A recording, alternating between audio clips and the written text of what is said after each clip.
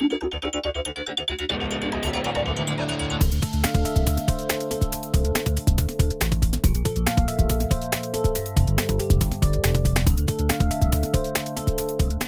everybody, and welcome to a very special edition of GameSpot Presents Now Playing. We are down here in Santa Monica visiting Treyarch, the developer behind Call of Duty Black Ops, and we're here to check out a pretty hefty chunk of the game's online multiplayer. I'm joined by David Van Vonderhaar, the game design director, who's here to pretty much walk us through the experience and tell us uh, how you know how they approached the game and what the final version is going to be like once you guys finally get your hands on it very soon. David, thanks for joining us. Thank you, man.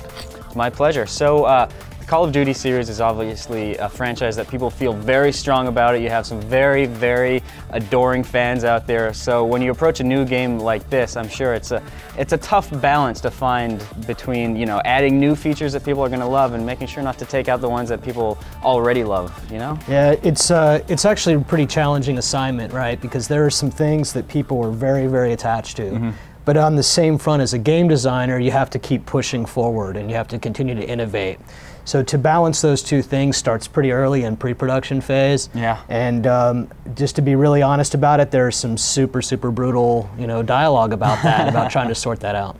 So we've actually got the game running right here. Uh, we've got our friend John from Activision who is playing for us. Uh, David, tell us what's happening. What, what's the map that we're looking at here? I know that Black Ops is sort of a, uh, a globe-trotting story. You go all, all over the world. What's this location we're looking at here? This is uh, what we call Havana. It's obviously Havana, Cuba, Mm-hmm. and it uses the Operation 40 faction versus the Tropas. So uh, you know we're, we're roaming the streets of Havana in what looks to be a domination game right now, and uh, these guys are trying to cap all these flags. And you need to you get points, of course, in domination when you're capping flags. And uh, right now they're running behind schedule, but if they cap all three, they'll get points pretty quickly and can uh, take this game. All right.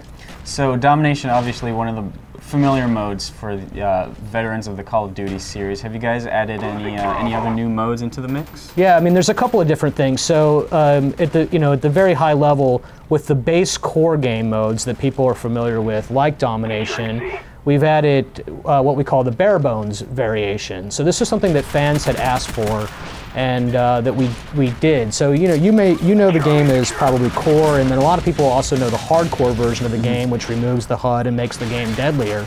But there's also a bare bones variation of every game mode, or there could be. Uh, and what bare bones allows us to do is selectively figure out which kill streaks to either have in the game or take all the kill streaks out.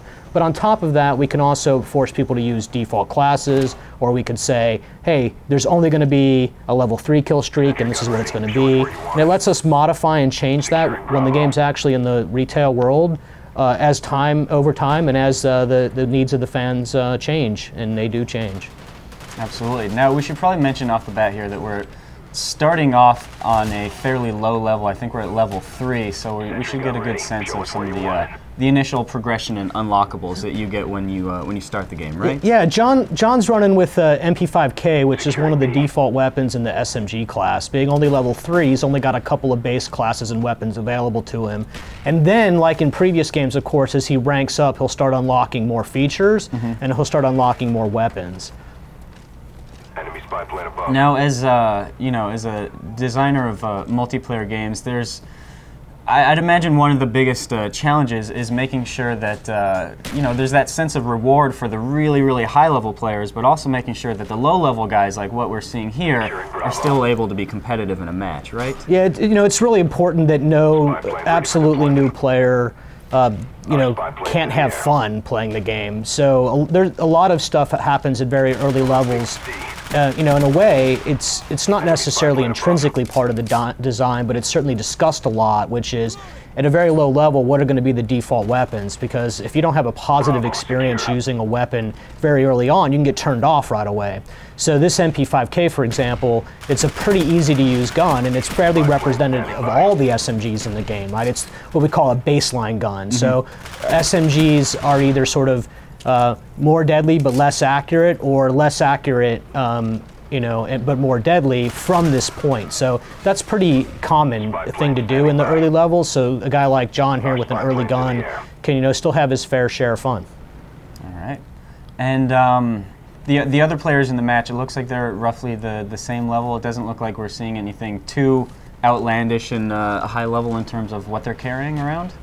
Is that the case? Yeah, um, John, could you hit your scoreboard for a second? Let's take a look here. Yeah, so you know these guys were ranging anywhere from three to nine. It looks like. Okay, thank you, John. Securing Um, so you know, there's nothing. There's there, there, no one player in this match is going to be, um, you know, have you outmatched simply by his level. But then, to be really honest about it, it, it doesn't really matter if you get ranked with the higher level player. The only thing that's really telling you is that that guy's played the game longer than you, right? We don't really tune weapons. Uh, to be something that gets better or worse over time. They just get different. Right. Right. You don't want to intrinsically create an environment where higher ranked players have advantages over lower ranked players. Right. And we have the prestige system, if you're familiar with that from from previous games, where you can actually give up your rank and start over for a little bit of prestige icons and some other bonuses that we give you. So, you know, you could have a really high ranked player with who's played the game way more than you, who's a lower level than you because he's prestige, right? So, yeah, we go out of our way, I think, to say, look, these are just different guns. You know, there's nothing that says you are going to have a better or worse time as a result of being a higher or lower rank. So let's talk about the, um, the the timeline of the game, the sort of setting of the game, these you know CIA deniable ops missions that you're taking part in. How has that influenced the, uh, the, the you know the maps that we're fighting in and the equipment that we use? Yeah. Um, so you know, we'll, we'll, hopefully we'll get into the, the user interface side of this in a minute, but it had actually a, a massive influence on the game design as a whole. So you know, when we're doing research and pre-production, as we often do, you know, we're looking through sort of what what the kinds of special operatives would do and use in those time periods, and when they were you know going and be in places they weren't supposed to be, and they mm-hmm. would use highly modified enemy weaponry. They would take their personal weapons, that their personal firearms that they've bought or had shipped to them into battle, and those things had a big influence on the gun customization system that's available in you know Call of Duty Black Ops, and it's one of the reasons why we have so many camo patterns that you can unlock and purchase because guys would just spray paint their guns. They're like, "Eff it, I need, I need this, you know, I need the gun to be this color." You know, you didn't have the when you're a special operations soldier, you don't have the military breathing down your back about Right. doing bad things to your gun. You just do whatever you need to do, and that was an influence for the game design in a really significant fashion. And I assume that uh, when you drop your gun and somebody else comes and picks it up, it's still visible there for the other players. Absolutely. So you know, it's really fun to um, to take somebody's gun, his highly customized gun, right? his gun with his own camo, his own clan tag, his own reflex sight, with his own aiming reticle color, with his own aiming reticle design, and then kill him with it, and then have him see that in the kill cam. In the right? kill cam. Yeah. So we've, we've got a few seconds until the next match. Let's talk about the uh, the equipment screen, the create-a-class screen that we're seeing here. Yeah, John's uh, in the perk two, and he's browsing through the perks. So he's unlocked all the perks now. He's level five, so he's ranked up. And what he can do is look at any perk category that he wants, and then you can see that any perk is available for purchase. So you don't unlock perks by level anymore. You unlock every one of them, with the exception of the pro versions. And as, excuse me, as long as you have enough money, you can actually purchase that. So John's got you know a little over a thousand CP, so he can't afford any more perks right now. So CP, we should uh, let's spend a little time talking about that. How did that idea originate? I imagine that there's probably a lot of back and forth whether that was too big of a risk to take with the multiplayer system. Um, You know, we we knew that we were so the the concept of the the Call of Duty points or just simply CP or the currency. Mm-hmm. This came up probably in day two of pre-production, Oh, really? right? We knew pretty early on that this is a direction that we wanted to go, and we had done a lot of paper prototyping to see if it made sense to us. But yeah, of course, when you when you go from a non-economy game to an economy game, it's a big deal to people, Oh, right? yeah. When you go to an unlock game to an economy game, but you know, ultimately, we've thought that after you know a couple of games of doing the unlock mechanism, it was really time to kind of infuse a different take on that system, right? Right. So you know, so for us, the what we really were interested in is being able for players to have more control over the experience than they could get if we were spoon feeding them, right? Mm-hmm. So you got to find the right balance of how far to take that, right? So in things like perks and kill streaks, those are still features that unlock, and then you purchase the one that you want. Right. But things like weapons, those still unlock, and then you decide if you want to buy them. But if you buy them, then you unlock almost everything for that weapon. You can go buy the attachments for it right away. That takes out a little bit of the grind that happens trying to grind for your attachments. Right. And it's just a different take, right? That's a fun system too. It's just a, it's a matter of trying to evolve that concept a bit and uh, have Treyarch put their mark on a, on a way of doing that. And, and that's really what that was about for us. Let's let's take a look at the. Um, uh, actually, we're looking at that right now. So uh, the the idea of the, the, the class system, you you're actually wearing different outfits and it affects your attributes in the game. Yeah, so for every Call of Duty game uh, to date, the way that your character principally looks had been determined based on what gun you were holding. Right. Right? Which is not a bad system at all. Um, but we had this idea for giving players more control over their experience, and some people really care about how they look, you know. Uh, so it started from this: how how are we going to give people the ability to control what they look? Which by itself was interesting, but not as good enough as associating it with a gameplay mechanic. So we went through a couple of ideas and finally settled on this this concept that these perk one, right? The base perk, the base gameplay defining attribute of a player is perk one. And if we make those perks have a visualization and change the character, then you can really start to see what that guy is likely to be doing inside the game. If you've got Ghost and you're wearing a, you know, lots of ghillie or camouflage, you'll have an idea what that guy's playstyle is. So you can figure out by looking at him how to engage that player, and that's a that's the start of something really big, I think. John's looking at the contracts menu right now, which is uh, one of the one of the many things you can do inside of a lobby in between games. And there's three types of contracts, right? The mercenary contracts, the operations contracts, and the specialist contracts. And then John can dig through here on the specialist contracts. We like, we like to refer to specialist contracts as contracts for specialized players.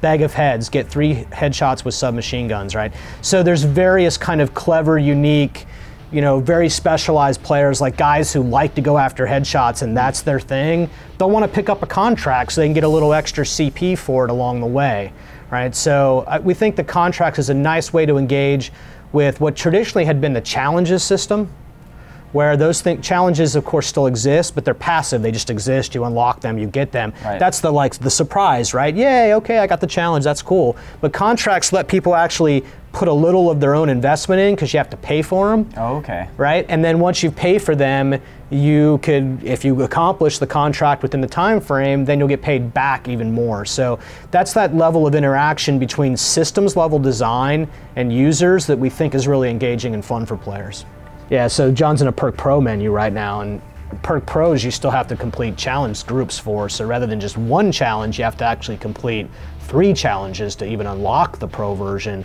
and then once you've unlocked it you still have to purchase it. So the pro versions are pro right? That's all business. So there's an example of where those two systems come together. I mean not only do you have to do a challenge you have to do three challenges so you know it, it's a the way that the game is configured and set up it's you know most things are feature unlocks but some things are challenge unlocks right so whatever made the most sense for what the award was for doing it. So that's that's what the motivation there was, right? Marathon 26 miles and you know first blood, right? This is a gameplay thing. So mm-hmm. what we're trying to say is, hey, look, guys who have marathon, they're going to be the guys who run in and engage first Right. and have those first engagements. So you should give them something to do that would a marathon type user would using and first blood is one of those things right and then finally on the captures front hey look if you're you know a marathon guy then you're often a ctf player so you mm-hmm. need to capture flags so i'm really excited about the pro versions and, and what they bring and the challenges that you need to do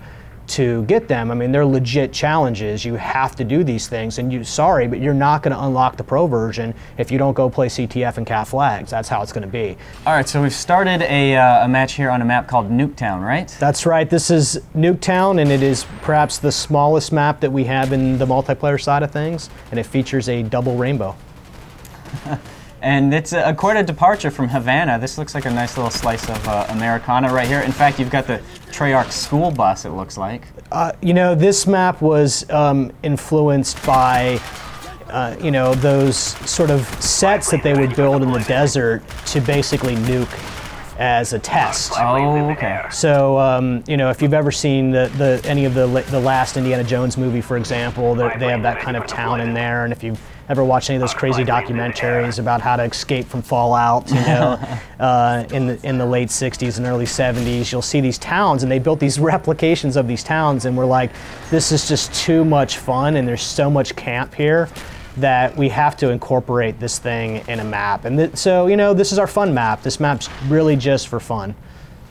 Uh, the uh, the mannequins add sort of a campy, but also at the same time slightly eerie element. Yeah, they're, they're slightly creepy, and uh, you know, if you're playing, uh, when you're playing without many players, if you're playing like a smaller game, like three on three or four on four, you know, you got guys will stand still next to mannequins uh, and, and confuse the issue for you. There's a sign inside this map, right in front of John there, where it actually tells you if you if you go to the front of that sign and look at it, it'll actually tell you how many players are currently in the in the Nuketown at this time. Oh, okay.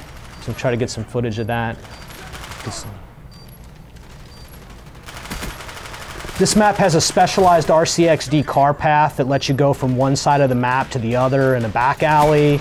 Uh, this map features, it's got the double rainbow. This map has got, um, this map, this map also has um, a really special surprise that we'll get to when the match ends. I feel compelled to ask about the player bursting into flames when he dies. Uh, yeah, well, uh, you know, th- these guys have got some flamethrowers at work here, which is one of the weapon attachments. So Oh, okay. they'll get, they're going to get toasted up pretty good. So, so John, if you get toasted, don't skip that kill cam, so we can show everybody in the world what happened there. Um, so you know, uh, the the uh, flamethrower used to be a, a weapon, right? A perk one weapon in, the, in Call of Duty World at War, and this time we stuck it as an attachment and under the barrel attachment. So John now, in fact, now that he's ranked up and he has his MP5, rather than spending money on something else, it looks like he's customized his gun. So now he's got a reflex on there with probably a red dot, circle red dot. Um, so you know he's he's starting the experience of going, okay, I'm going to customize this weapon for me. You know, what do I want on it, right? And, you know, and he's still only level five, so he's not waiting around for this stuff too long. He's also got a speed reload perk on. They're playing. Uh, looks like they're playing demolition. Friendly spy plane inbound. I'm just I'm in awe at this map that you guys have built right here. It's, Yeah, uh, there's some sprinklers somewhere in the, off to the side, some garden sprinklers that come up, and then, you know, I, I'll tell you what, I'm going to give, uh, you know, just for your, I'm going to give you guys one one giveaway just for your audience that no one's ever talked about yet, and then I'm going to leave a little bit. There's the flamethrower there at work. I'm going to give you th- this little tidbit. If you pop the heads off all the mannequins, and I mean all of them, and I mean in record-breaking time, there's a little something special for you. ooh, Takes takes a well-coordinated. you're gonna have Team to of have people. You, you definitely need a marathon, and you definitely need to know to know how to navigate your way around this map. Yeah, you, you, you need you need a you're gonna need a full team of professionals to make this happen, but that's part of the charm, right? And we've got some butterflies as well. Yeah, of course. You know, this is a a fun little town. So you were talking a moment ago about, um, you know, we mentioned gun customization earlier, but uh, one of the things that we're not seeing quite yet, as we're not at that level, is the uh, like the reticle customization. Right? You can actually change it from a dot to other different patterns and sort of change the color and things, right? Yeah, that's right. So this is just the circle red dot, which is the default version. So uh, in a little bit, when uh, John ranks up, he'll have the ability to purchase different aiming reticles. So maybe you don't want a dot, maybe you want a circle. Maybe you want an X, maybe you want a skull, maybe you want a smiley face. There's all sorts of different ways to configure the actual reticle that, that you're using. But then on top of that, you can actually change the color of the dot. So, you know, it's always called the red dot, but it could be a green dot, it could be a blue dot, it could be an amber dot. There's all sorts of colors and you can pick which one. And then even on top of that, he can configure the glass color. So he's using clear glass, but you can use blue and various shades and tones of glass, which depending on the map and the brightness of the map can aid in, uh, you know, your targeting and acquisition. And, you know, some of it's just purely for, uh, well, you know, just showing off. Yeah, I mean, I, I would imagine getting a dying as a result of a headshot from a guy who's using a smiley face on his reticle is not the most uh, rewarding feeling in the world. It is if you're the guy who got the kill. you know, So John, John's uh, just finished one of the first Perk Pro challenges there. That, that's what that message was, the lightweight escape death, which means he got hurt and then had to run away. So you know the, the Perk Pros are like that. You know, if you're a lightweight user, you know you want to move fast. One of the things you do as a fast mover is if you get in trouble, you can dodge around a corner. In fact, this is a really great map for that kind of thing because it's small. It's a really good place to try to accommodate those things. He just got poisoned by Nova gas right there. That's why his screen's all blurry. Um, that, that is a type of a secondary uh, grenade that got tossed up into the world. You can purchase that, of course. You can do it uh, in the next game if you wanted to. And uh, we're, we're, we're 37 seconds away from the big finale here. Yeah, that's a base challenge there, 25 kills. Very incremental, the challenges. Five headshots and 25 kills, so he's doing pretty good. Five headshots with the SMG. So those are all the challenge pop-ups and promoted. Promoted, nice Yeah, work. with 2,500 uh, CP leveling bonus right there. Yeah, this map's never been seen before. You know, we haven't really promoted this map at all. It's, you know, it's it's a little too um, unique and different to, to really make sense for most types of you know game promotions or trailers that you might do. You know, I, I really think that Nuketown is going to have some really some really large fans. You know, um, I like this map a lot in private matches and with some of the private match game customization options that we have available. We like to play one-on-ones and two-on-twos in it with uh, pistol shotguns only. That's a good good fun experience. You know, and, and it, you know it'll hold up and it'll be in the playlist rotations for sort of the normal game modes, of course. Um, but you know, it, it's Nuketown is something special for you know when you're when you're trying to really just kind of bring it down to very few players, you know, going at it in kind of a duel environment, you know, dueling. That's uh, that's where Nuketown really shines, and it you know it's just fun. It's just different and fun. So yeah, talk to us about the map design in general. How do you how do you guys try to balance uh, you know the smaller maps like Nuketown versus uh, the, the bigger maps like uh, I, Havana was a little bit bigger, but I imagine you guys have some some larger ones. Yeah, as well. you know, Havana's a medium-sized map um, by the standards that we use, and we definitely lump maps into small, medium, and large categories. And you know, if you're, let's, you know, we have 14 maps that are going to be available in Call of Duty Black Ops, and you know, most of those maps are going to be in the middle range size, what we call medium maps. You know, medium to medium large, and those are maps that are generally designed to work in every game mode with about 12 players, right? That's kind of the target. That's the base. Right. So, you know, if you have a magic spreadsheet of what you're trying to do, you want to get, you know, let's call it nine to 10 maps and maybe, you know, in that range right there, that medium range. And then you want at least one pretty small map. That's Nuketown, right? This is the smallest map we have. There's another small map called Firing Range. It's bigger than, than Nuketown, but it's, you know, it's it's in that medium to small category as opposed to purely a small map like this. And then we have some very large maps on the extremes, cracked, array. Those are very large maps. So you know, you generally tune the game, and again, this is you know. Talk about game design in general. In general, isn't really fair to game design at all. But to keep it simple, you know, you generally want um, a good, healthy dose of, of medium-sized maps, and then you want to go to the edges, couple couple two, couple three, as we like to say, mm-hmm. large maps and one or two small maps. And that's usually the great balance for this game, what the engine's capable of, what we think the fun factor is for the number of players and the game modes that we have. You know, we, you know, we played the game lots of ways with lots of different players, and it, you know, it always boils down to, man, this, you know, this is the right size map, this is the right number of players for that kind of awesome experience. And what's the process that you guys take in regards to designing a map, at least visually, after locations from the story campaign, compared to just ones that you, you know, totally pulled out of nowhere? Yeah, so we got the chance to pull um, a lot of them in this game out of nowhere. You know, Nuketown's totally out of nowhere. Not in the campaign. yeah, but you're still, you know, it's still a production, right? And you're still, the game goes to particular environments. Um, so, you know, in this, in Call of Duty Black Ops, we were actually able to get started making maps really early on. So, you know, we had sort of this loose idea from the from the campaign side of things where the story was going to take us and what the environments were. Um, and you know, we we built maps in basic block shape. You know, um, inspired by locales, hoping the art would be there one day, right?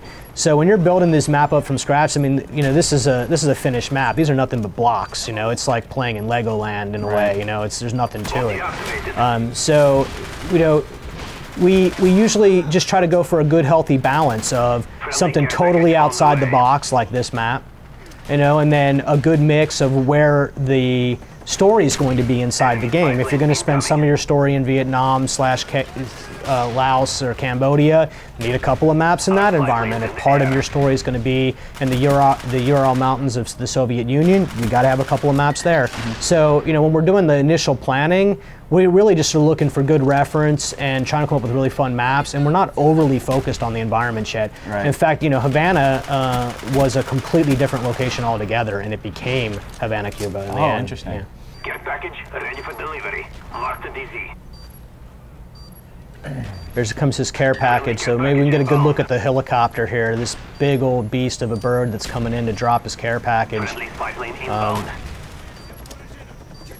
That thing can be shot down. Uh, we've slowed it down a bit, so you know if it gets uh, taken out on its way in, it'll drop its care package wherever it gets destroyed. Um, you know, there's a mixed reaction from the hardcore fans about care packages. You know, I mean, why why do I get a, a higher level kill streak for having a lower level kill streak? And it's a the subject of a lot of uh, a lot of uh, conversation on the design team. But ultimately, you know, kill streaks don't count towards kill streaks. Uh, so in this game, you know, you can't just intrinsically uh, you know, roll through the kill streaks very fast. So I think it, you know, there's some players who will never get an 11 kill streak in their life. The odds of getting a really great kill streak out of a care package are pretty low. You know, they're they're tuned that way.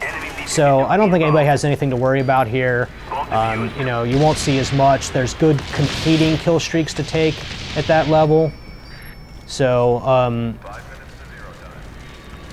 I, I- you know, I'm pretty convinced that care packages, uh, you know, I, I think they have a place in the game. I feel like they're appropriate, and uh, you know, it's it's pretty satisfying when that you know the random number gets in your time, random number gets rolled and your time is there. Enemy spy plane above. don't skip the kill cams of kill streaks. Um, yeah, there's there's a lot of different kill streaks, of course. Um, some of the new ones include the two weapons that we actually have available only from care packages, which is another good reason to have care packages, right? You don't you don't want something like the uh, death machine or you know to be something that you could equip with, right? That would be extremely overpowered and wouldn't make a lot of sense for a create-a-class weapon. But it makes perfect sense inside of a care package drop. So you know that the, that weapon, along with the Grim Reaper, which is this four-banging you know rocket launcher that's just insane. um, those two things are uh, weapons that you can only get from care packages. So you have an opportunity to give the player really super powerful weapons rarely and that's a lot of fun all around you know? Um, it, it, it comes up and it can be game changing and that that keeps the game interesting right? It doesn't doesn't boil down to the same thing. That little bit of randomness inside will make things i think more engaging overall and keep you fresh and thinking. Sure, a little bit of controlled randomness in Yeah. an otherwise very sort of, you know, deliberate environment. It is really deliberate, isn't it? yeah, I mean it's designed fairly deliberately. Um, you know, but there's new the new kill streaks include, of course, everyone's favorite, the RCXD, which is the radio control car. There's um, also some been some work against uh, you know the chopper gunner and how that works. That's very Vietnam movie influence, where you're quite literally sitting on the side of the helicopter with the gun, right, as opposed Yeah. to just a gun camera Okay. right? So that's a lot of fun. There's the gunship, which is actually a pilotable helicopter, so you can actually fly it around. So, you know, there's some really new kill streaks um, that, you know, we think it, the fans are going to be pretty into. You know, there's 11 of them. Uh, there's not too many, so it's not sort of overwhelming. They've got counters, right? There's a SAM turret, which is in fact a kill streak, designed to take out air kill streaks. So, you know, there's a good, healthy balance there, and you know, having a lot isn't really the way to win necessarily. You know, having um, you got to have a good number because the customizable kill streak feature is amazingly fun. Um, you know, but you gotta you gotta find a healthy dose of uh, counters for them too, because you don't want them to, to be the dominant part of the game. Any chance of bringing back the German Shepherds from World at War? Yeah, the dogs are back. The German Shepherds have returned. They're an 11 kill streak, and they're just as deadly as ever. Just as vicious. And they have uh, they have brand new uh, behaviors too. They're a little smarter. Oh, can nice. target a little better. Here it comes. This is what happens at the end of a game in Nuketown. Doesn't matter if things go your way or don't go your way. It's Nuketown. All Nuketowns end with a nuclear flash. And there's nothing for those mannequins to do but just look and They're uh, wish they lived in a different town. and they're all dead now. yeah, so John went on a big tear there. You can see he was playing an objective-based game mode, so it's a longer game mode. So he's unlocked a lot of weapons along the way, being level nine now. You know, so good, good bonus there. Over 7,000 um, CP awarded for him in that big long session, and that's going to be enough to buy some more stuff. So let's see what uh, John's into. I'd recommend we take a look at uh, some of the gun customizations features in primary, and then yeah, and then primary again. Yeah, so yeah. So let's can we flip through that? Um, yeah, just flip down. So let's see where he's got to go. Sorry, John. Can I have the controller? I'm gonna take over for John for just a second, so we can kind of see what we're what we're gonna deal with here and how we get into this gun customization stuff over time. So camo's level 22, so we got a ways to go there. Level 25 for the reticles, reticle color and lenses. Level 19 for its clan tag, we'll probably get there today. And finally, level 16 here for the emblem, which so uh, if we talk about the player card, you can actually stick your emblem on your gun for a continued personalization effort. So these, this is what we mean by feature unlocks, right? So this is locked. You cannot put camo on your gun until level 22. But once you unlock that feature, you'll be able to put any camo on any gun you have, right? So you don't have to grind to get the camo. There's no challenges to complete to get the camo. Okay. If you got the cash and you're a personalization kind type of person, that's what uh, you like to do, then you'll just buy that, right? You'll just buy what you need, right? And that's how you chose to spend your money as opposed to other stuff. So, if people don't mind an overwrought metaphor, it's almost as if the XP is the key into the store, and then the uh, the CP is what you use to actually buy the That's- it's customization. Not a bad metaphor, actually. You know, and, and once you have once you get to a certain rank via the XP, you get into the better stores. You know, Mm-hmm. uh, you don't get to go into any stores early on, and then uh, as time goes by, you get to get into the face paint store, and you can start painting up your face, right? So it, there's a lot of stuff like that. Um, there's a lot of features that unlock by leveling, and then once you've unlocked that face paint, you can buy any face paint, and then even within those types of things, we do some specialized stuff. So as a quick example here, you can see that here's guns unlocking by levels. But here, this very last gun in this chain, you actually have to purchase a whole bunch of guns to declassify. Oh, okay. So we're constantly sort of mixing this up, right? So you've got features they unlock, Mm-hmm. you've got challenges that unlock uh, the pro versions of perks, which you have to purchase. Here we have the classified system. The classified system requires you to buy all the content in that category. You know, so there's three or four ways in which we make the economy fairly interesting and keep you having to pay attention, and then you know make you want to buy those contracts or do those wager matches to earn the, the money you need to buy that stuff. So, David, we've we've talked a bit about the uh, the currency and the economy in the game, but we haven't really touched on um, one of the most bold elements of it, which is the gambling of element of it. So, uh, we've actually got that going right here. Tell us what's going on. Yeah, this is one in the chamber. Um, this is a free for all game mode. Um, and what's happening right here is you have a pistol and with one bullet in the chamber. And if you shoot that bullet, you're done. You've got to hit somebody to refill the ammo. There's no weapon drops, there's no picking ammo off the ground. And it's a very deadly game because you only have three lives to live. Oh, okay. One in the chamber was the prototype game mode for wager matches. It was the first one we did, and uh, we just loved it right away. Right? It's really pure. It's a game of stalking your opponent. You're trying to guess: do they have a bullet? They're trying to guess how many bullets you have. You get with the action that, that happened just right there, where you're looking for those red dots. You're you're basically trying to ambush somebody who's currently in the middle of a game. And uh, you know that's the secret to winning. Um, psyching out your opponent, man. You'll get these really amazing dances, like right Ooh. there, right? She took her shot. Rizzo missed, gets knifed. Now that guy's got at least one, if not two bullets in his chamber. Game continues till uh, you run out of lives. Top three players get paid. It's called being in the money.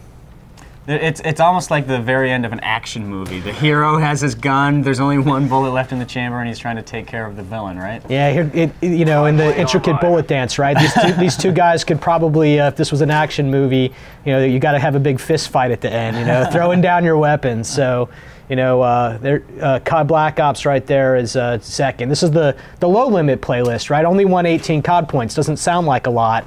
There's various levels of playlist um, so that people can play with their friends. In this one, since not much money's at line, this is like playing penny poker with you know me and you on a weekend around Right. with some friends.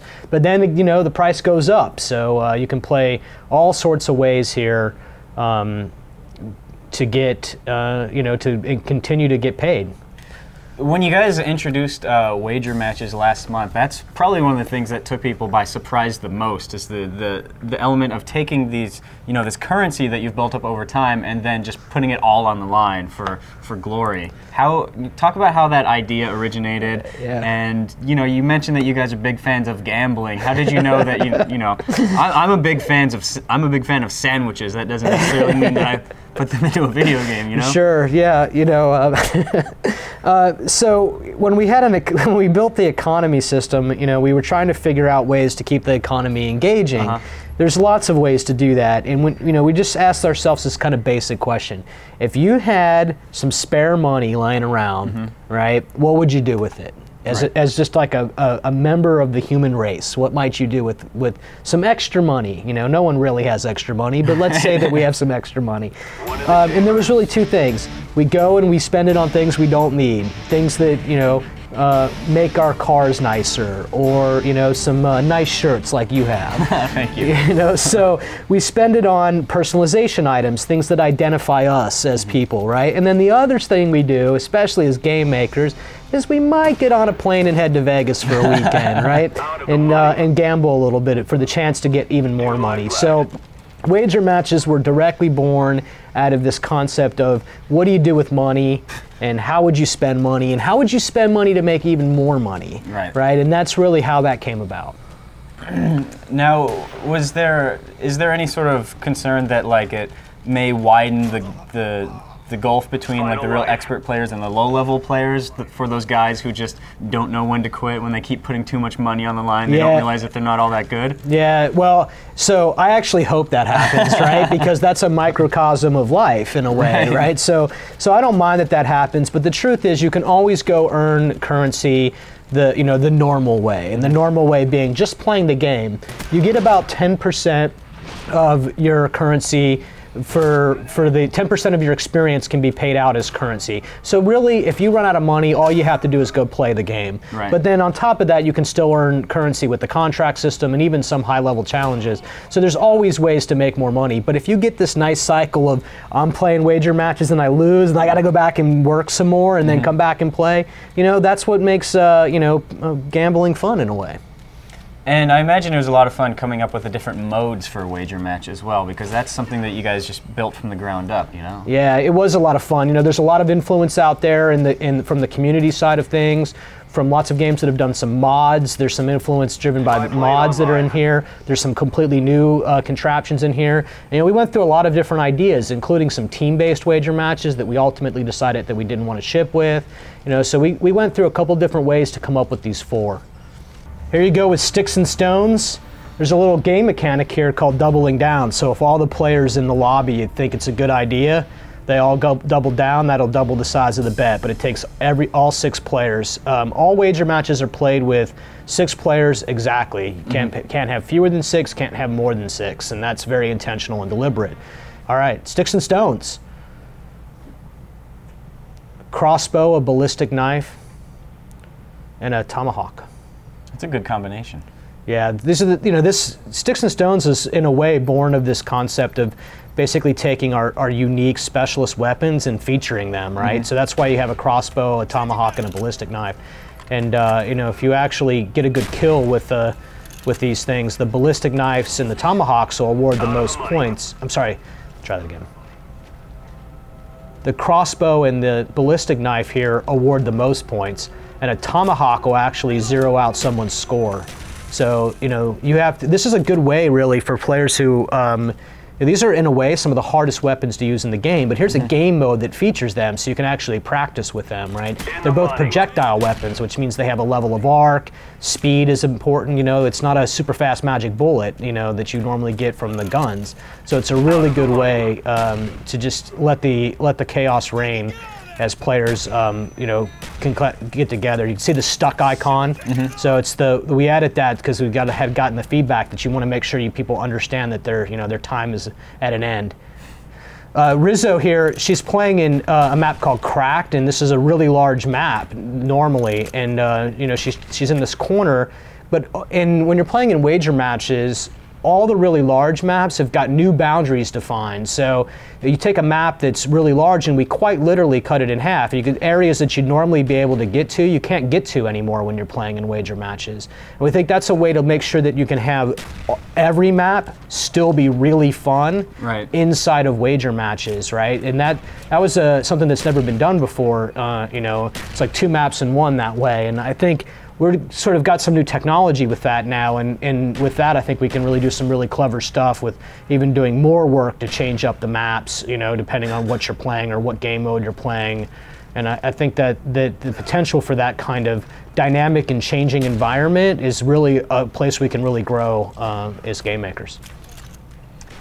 As long as you don't get too many uh, complaints from the map designer saying like, "Hey, I worked so hard on that car. Why did you cut it out?" You know, they, they do do that um, for sure, but uh, I think it'll be okay because what, what they're learning to do is how to work with all of these kinds of variations. And the truth is, wager match game modes are so fun that no one really minds uh, the extra work it takes to actually get them ready for wager match mode. Uh, you know, and ultimately, it's not too bad.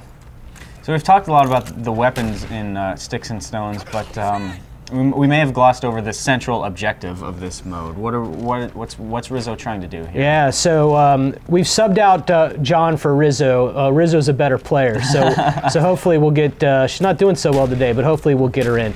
So this is a really simple game mode. Um, you know, you got these three specialized weapons, and you're really just trying to do point accumulation. So there's a plus 100 for um, getting a stick and killing somebody with the ballistic knife or the crossbow. So it's very accessible in that way for people. You know, you're still just trying to get the highest score.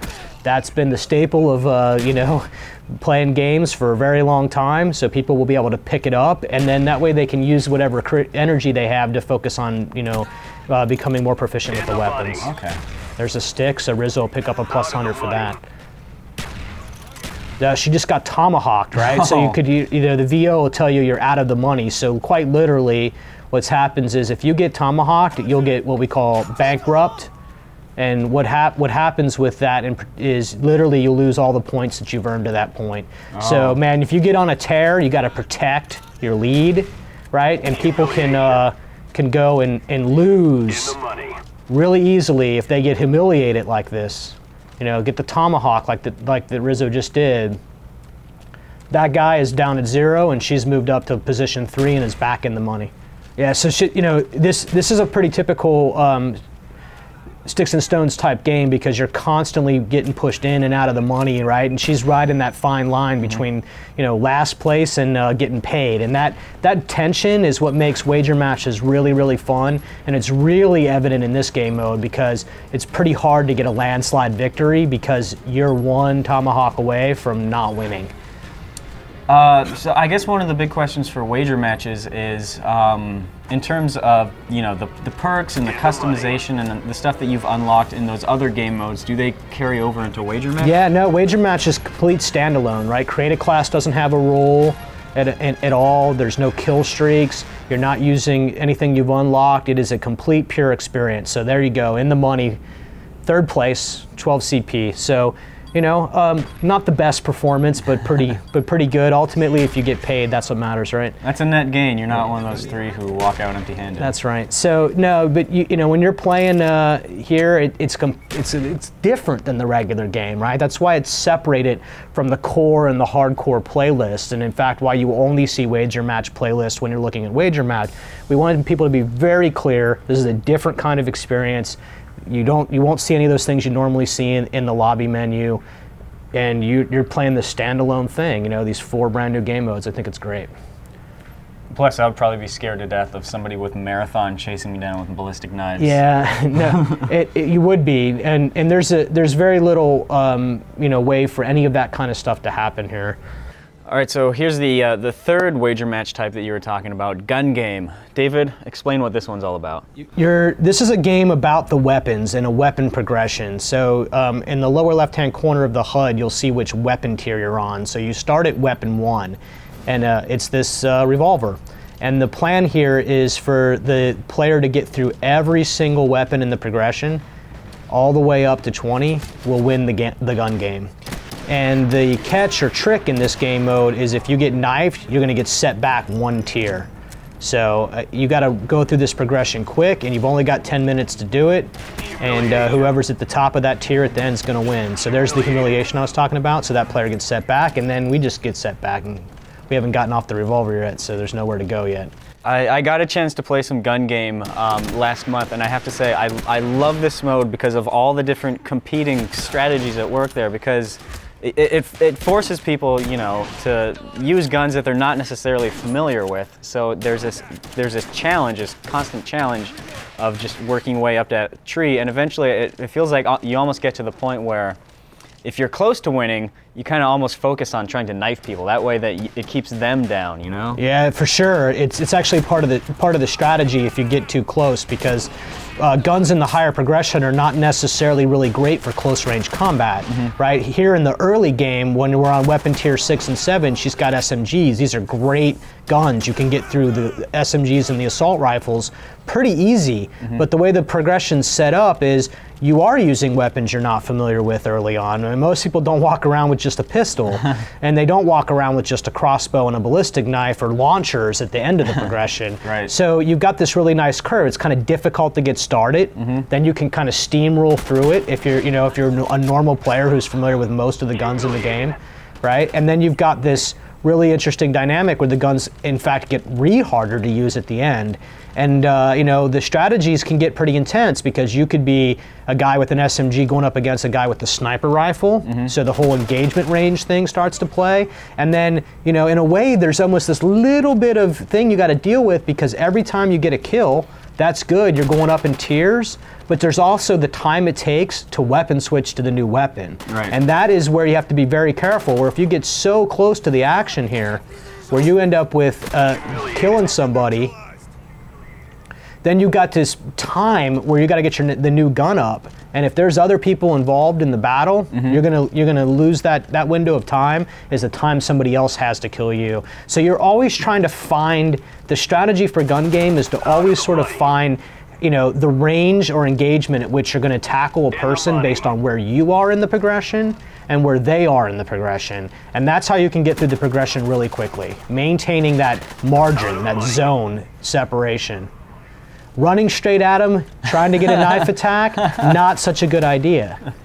And it it almost seems like there's points at which maybe if you're getting towards like somebody else is clearly well in the lead and you're still just sort of trudging along at the bottom of the curve, it almost makes sense to just focus on the knife attacks because that way you're just you know Yeah, in fact, you can see the lead player um, when the mini map pings there in the top right hand, top left hand corner of the screen. You can see the gold, right? So you can actually use that to hunt down the number one player and try to break down some of their progression. You know, and and uh, if you can do that more than once, you can really get that top player off their game, get them um, under their skin, if you will. and uh, and then you have a chance to kind of climb your way back up. So if you're one of these players who you know has got the really fast eye to hand and can pay attention to both the mini map and your field of view at the same time, then you have to make a conscious decision if you want to knife the leader or you want to shoot the leader, because you need to shoot the leader to actually progress guns. You need to shoot anybody to progress guns. You cannot progress by knifing. You will not go to the next tier weapon. You've got to get a kill with that gun, right? So um, it's really important to decide uh, what to do when facing down somebody.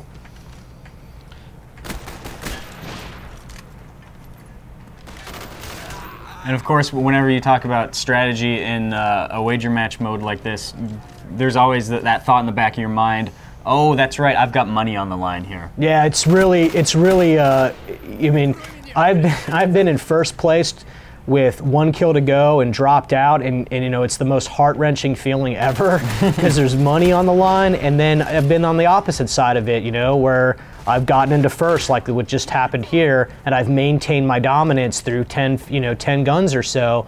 And that's like, man, look how badass I am. So you, you know, it goes both ways, and it's not because the same people don't constantly win the gun game. There's so many variables at stake, and what the other players are doing, and who is getting humiliated and set back a level. That you know, it's not the same game. You know, I mean, yes, it's the same weapon progression, but it's never the same game. Cool.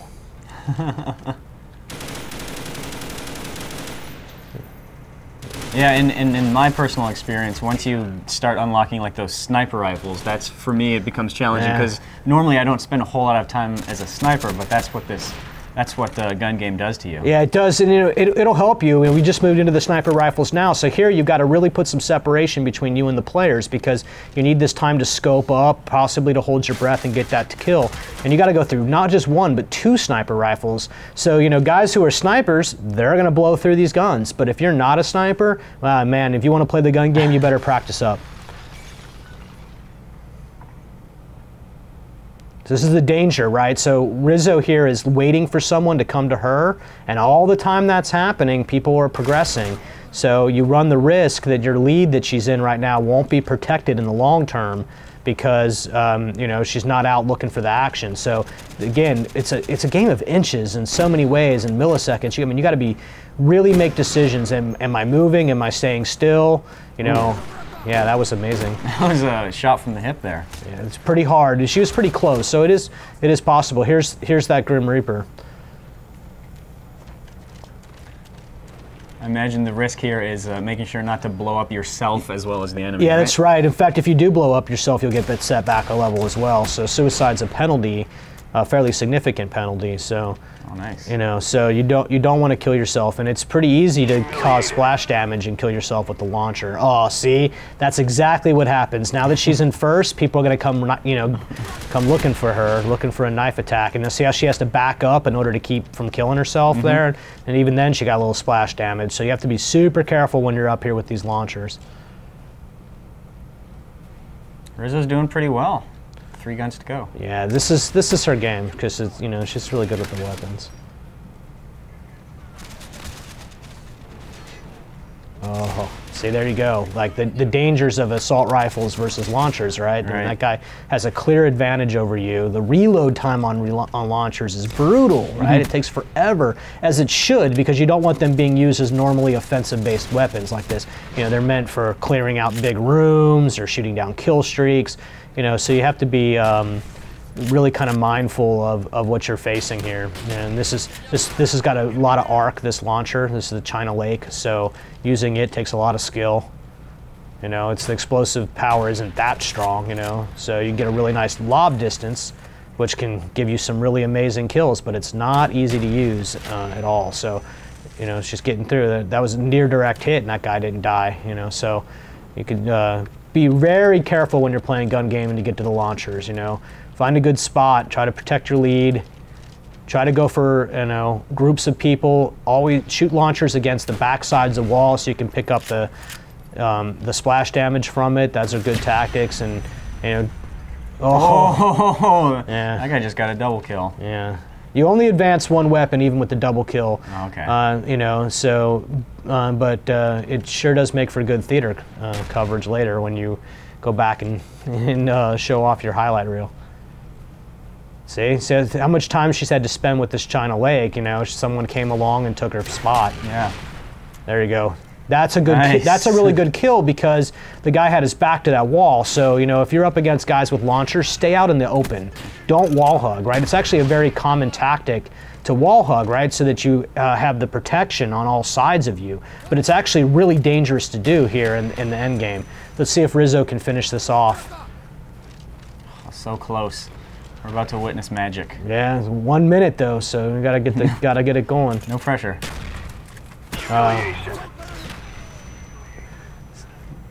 Will not help you win knifing, even with the ballistic knife. I mean, it will humiliate the other player, but. So you see, that, you know, you the game's tuned to be like this, where where the um, you know, you're going to end up with these right down to the wire kind of games, you know, and, mo- and many games uh, uh, work very similar to this one in terms of the pacing or timing. Yeah, so she's got she's got unlimited ammo here, so she can do a lot. Ooh. It's, it's getting hot. There it is. All right. So finally, a first place in the money finish Nice. That for was beautiful. for Black Ops demo, and we'll get to see this final kill cam and see how it got done here. Hear the audio tune out. Oh, the guy right in front of you too. Oh, oh, so, man, that hurts. You can always count on a good final kill cam in uh, any uh, wager match game mode. absolutely. All right, so it's time to see if Rizzo can keep up that victory streak with this next wager match mode. David, what's going on here? You got Sharpshooter right here, and, and Sharpshooter is going to be the game that the gun purists love. So in, in Sharpshooter, the way that it works is every 45 seconds, you're going to get a brand new gun. So the gun is totally and completely random. So right now we started off with the Kimbo uh, machine pistols, you know, the dual wielders, and uh, in 45 seconds this is going to change to, sorry, now 27 seconds, this is going to change to uh, something else. And what that is, nobody could tell you because it's absolutely random. The attachments are random, the gun choice is random, and, and uh, that keeps things fresh every single time you play it. Now, are all the players using the same weapons at once, or is it random for each player? That's right. They're all actually the same. So when Rizzo switches in five seconds, everyone will switch to the same exact gun. Okay. So So this it's an is even playing field. absolutely it is. It- you know, so we went from machine pistol to SMG with the red dot, right? So you know. Uh, she has sleight of hand now, so and this is the only game, uh, the only wager match game mode that actually has perks in it. Okay. And but you know, unlike the traditional mechanism of getting perks, uh, we simply just call them bonuses, and you get them by going on kill streaks. So it's a little bit of a mind twist for people at first because you're getting perks for going on kill streaks, right? But um, it's a way to reward players who are doing really well. So like Rizzo here is now on a pretty good streak. So if she can keep this up, she'll get to the top bonus, which is a scoring multiplier. Um, like some other game modes uh, in wager matches, it's purely based on score. So you just want to get as many kills as you can, as fast as you can. And let's talk about the, the map that we're in here. What's this one called? Yeah, this is uh, this is the wager match version of Launch. Launch is a medium-sized map. Uh, played pretty good in wager matches with the regular map, but we've made some changes. Some map paths are blocked off. Those are act- actually reflected in the mini map there in the top left-hand corner. If you actually compare that mini map to the regular launch map, you'll be able to see the distinction and playable space here. And it's pretty much the Cold War personified, right? With those Yeah, this is- rockets about to take off. Yeah, sorry. This is the you know the, this is the what we call the you know launch. It's it's a Russian cosmodrome, right? It's a Russian launch facility where they you know they put some Cold War, maybe satellites, maybe chemical weapons, who knows, into space.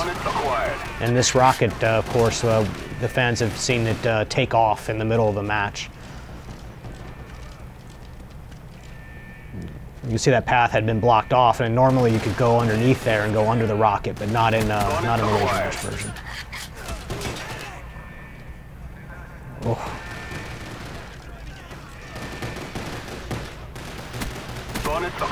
this, gun, this this game mode's really popular inside the, the group because you know obviously as a shooter studio, um, you know the, the guns are everything to people. So Right. so you know basically being able to randomly give in a gun, you know it's really also just a fun way to test weapons. You know, uh, because as much as you want people to use all the guns that we actually have available inside the game. People have their favorite guns, right? You got your LMG guys, you got your SMG guys, you got your snipers, and they're always going to take those guns when they're playing in the playtest because first person shooter developers are intrinsically pretty competitive and they want to win. Right. So you have to do things, and I've actually had to go and ban people from using guns or actually take them out of the game so we could get feedback on other weapons, right?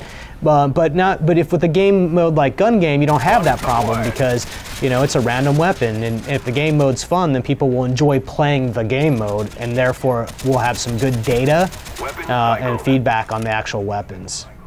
While we're on the subject, David, what's your preferred loadout? Oh man, good question. You know, um, I'm kind of a fan of rolling kind of stealth classes. Uh-huh. It, it depends on the map size, but I Sure. t- usually take a an assault rifle or SMG uh, with a suppressor and a red dot. So therefore, I'm using the hardened perk, so I can have both of those attachments at the same time. Okay. But I also like ninja, and I obviously like the ghost perks. Uh, I just prefer to rock stealthy. That's just sort of Mm-hmm. the, my play style, my personal play style.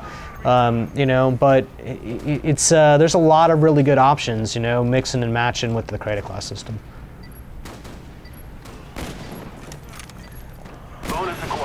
Yes, that's a that's a variable zoom there. So that particular attachment lets you actually uh, zoom in more than once, up to three levels with the variable zoom. That's new.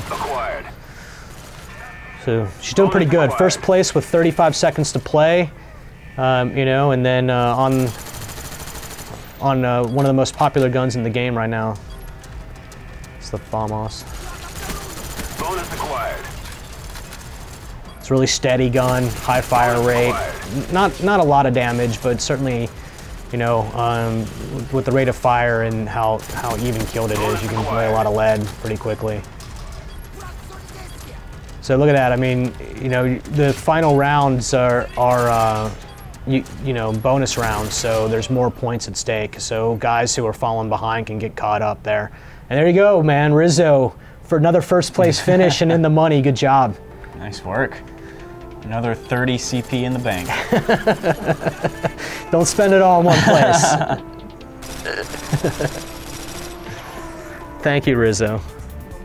Well, David, we've seen a lot of stuff so far. You, we've seen a lot of different game modes, a lot of different maps, and we could probably just keep going because there's a lot more to see in the multiplayer. But you know, the game's out soon, so we should probably maintain some surprises for the viewers at home. There's a couple of uh, surprises that uh, have not been completely out there, but you know, if you're a big fan and you've been following the entire thre- thread through the launch, you start to piece it together. All right, so for the uh, very few viewers at home who don't have the release date circled on their calendar, go ahead and remind us when Black Ops is going to be out in stores and the platforms it's out for. It's November 9th, and it's for the PC, the Wii, the 360, and the PlayStation 3. All right, David, again, thanks a lot. We Thanks, really man. It's good to see you again. Yeah, you as well. So there you guys have it. That's your now playing look at Call of Duty Black Ops. Thanks a lot for watching. See ya.